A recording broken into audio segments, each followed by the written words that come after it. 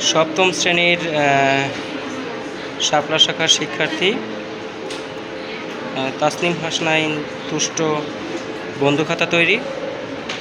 তো এটা একটা ফ্রন্ট পেজ আমরা দেখতে পাচ্ছি। এরপরে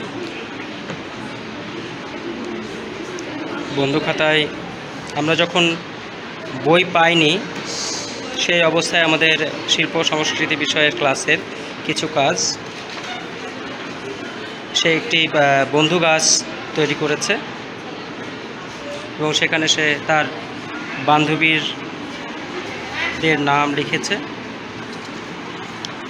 এরপরে সে একটি গানকে ব্যবহার করে একটি ছবি আঁকার চেষ্টা করেছে। গানটির একটি লাইন হচ্ছে, আমার দেশের মতন এমন দেশ কি কোথাও আছে? বহু কথা খাও পাখি ডাকে নিত্য হিজল গাছে আমি পুরোটা তুলে ধরছি।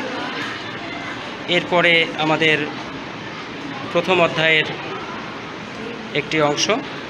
সেখানে আছে বর্ণচক্র তৈরি। সে বর্ণচক্র করেছে, একটি হচ্ছে প্রাকৃতিক বর্ণচক্র। আরেকটি হচ্ছে রং ব্যবহার করে বর্ণচক্র। এর পরের পৃষ্ঠায় যাচ্ছি আমরা। মায়ের মুখের মধুর ভাষা। এই অধ্যায় থেকে তারা সে বিভিন্ন রকম ফ্রন্ট আঁকার চেষ্টা করেছে। ফ্রন্টে লেখার চেষ্টা করেছে, আমার সোনার বাংলা, আমি তোমায় ভালোবাসি। এবং এটাকে আমি দেখানোর চেষ্টা করছি। এরপরে নকশা খুঁজি, নকশা বুঝি অধ্যায়তে নিজের মতো নকশা এঁকেছে। একটি ময়ূরকে ব্যবহার করে সে নকশাটি তৈরি করেছে।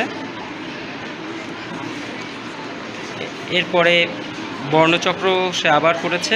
এটাকে একটু বড় করে দেখানোর চেষ্টা কর দেখানোর জন্য আমরা দেখতে পাচ্ছি। নকশা খুঁজি, নকশা বুদ্ধি বুঝি অধ্যায়তে রেখা ব্যবহার করে নকশা সে করার চেষ্টা করেছে। এরপরের অধ্যায় হচ্ছে আমাদের স্বাধীনতা স্বাধীনতা আমার। সেই অধ্যায়তে সে একটি ছবি এঁকেছে।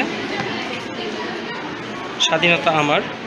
এই অধ্যায়তে সে খুব সুন্দর একটি ছবি আঁকার চেষ্টা করেছে। পোস্টার রঙে তাই তো? পোস্টার এবং বিভিন্ন মিডিয়া ব্যবহার করেছে। আশা করি ছবিটা আপনাদের ভালো লেগেছে। এরপরে আরেকটি নকশা সে করেছে নিজের মনের মতো করে বৃত্তর বৃত্তকে কেন্দ্র করে সে নকশাটি করেছে।